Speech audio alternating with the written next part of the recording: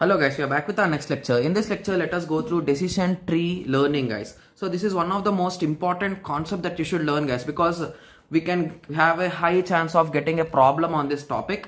So that is the reason why please listen the class carefully so that you'll be having a clear idea and in the next lecture we'll be going through a problem so that you'll be having a 100% clear idea guys.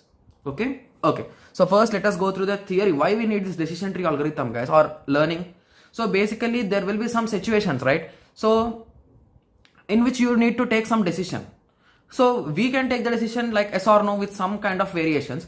But how can a system or a robot can take a decision? So that will be an issue, right? So it will be taking the decision by having some inputs and outputs, right? So that is the reason why this decision algorithm is categorized under supervised learning. Please remember that guys. Okay. So and on basis of some inputs and outputs it is going to take the decision that whether it should go or it should not go in that way. Okay? Fine.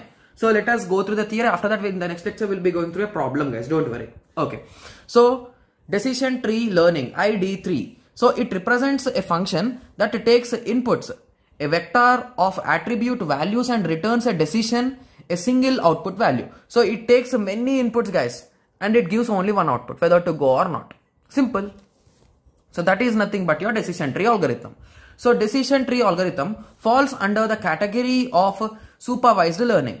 Okay. So it reaches a decision from step by step. So let us assume you need to go to outing. So if it is sunny, you are not interested. If it is rainy also, you are not interested. If the temperature is moderate, like not so cool or not so hot. If it is moderate, like normal day temperature. So then you are interested in going out. So these kind of things will be taking as decision trees guys. So the most popular algorithm for this decision tree is nothing but D3. ID3 algorithm that is nothing but iterative dichotomiser 3 algorithm. So basically ID3 is one of the most commonly used decision tree algorithm. Dichotomiser means nothing but it is dividing it into two options guys.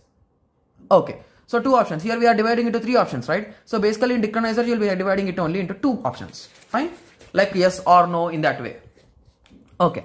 So the algorithm basically this is the main concept guys. So even if you are not so good at the concept, you can do the problem guys. So if you are a problematic guy, like if you want to learn problems, it's 100% clear that you just listen the lecture. After that, we'll be going through the problem so that you'll be having a clear idea.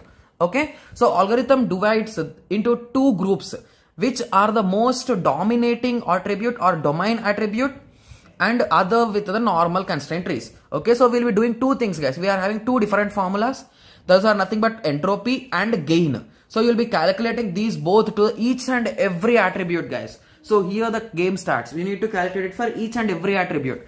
Using this we get the most dominating attribute. So that dominating attribute will be your king or the node, the main root node for your tree, decision tree okay? So the entropy and information is again calculated for each and every node and in that way you'll be arranging it guys. So we are having two main formulas. Those are nothing but for entropy and gain. So i didn't write anything here guys because once we are going through the problem only we'll be discussing about the formula so that it will be clear for you. Thank you. Thanks for watching. So in the next lecture we'll be going through a problem. Thank you. Thanks for watching